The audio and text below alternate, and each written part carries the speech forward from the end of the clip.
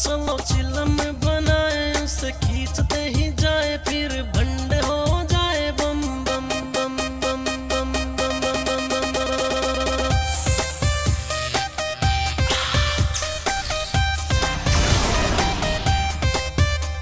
भोले पापा, मेरे